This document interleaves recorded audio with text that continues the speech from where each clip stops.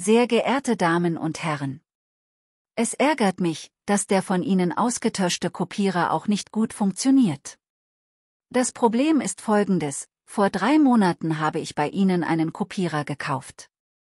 Leider gab es Probleme und Sie haben einen anderen Kopierer ausgetauscht.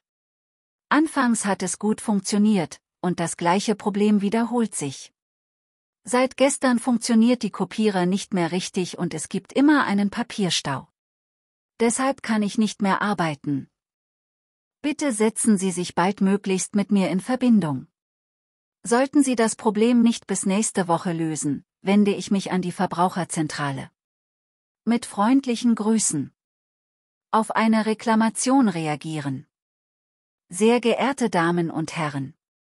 Wir bitten Sie, unsere Entschuldigung anzunehmen. Ihre Kritik nehmen wir sehr ernst. Soweit ich es derzeit überblicken kann, liegt das Problem beim Hersteller.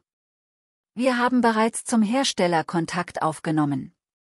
Sobald ich eine Rückmeldung des Herstellers habe, werde ich mich erneut bei Ihnen melden. Für die Funktionsfähigkeit der Ware ist der Hersteller verantwortlich. Ich kann Ihnen versprechen, dass der richtige Kopierer so schnell wie möglich geliefert wird. Den defekten Kopierer werden wir wieder mitnehmen. Aus diesem Grund bieten wir Ihnen einen 30 Euro Gutschein für weitere Buchungen an. Falls Sie noch Fragen haben, können Sie gerne jederzeit gerne an uns wenden. Ich melde mich, sobald ich mehr weiß, und sage Bescheid. Mit freundlichen Grüßen.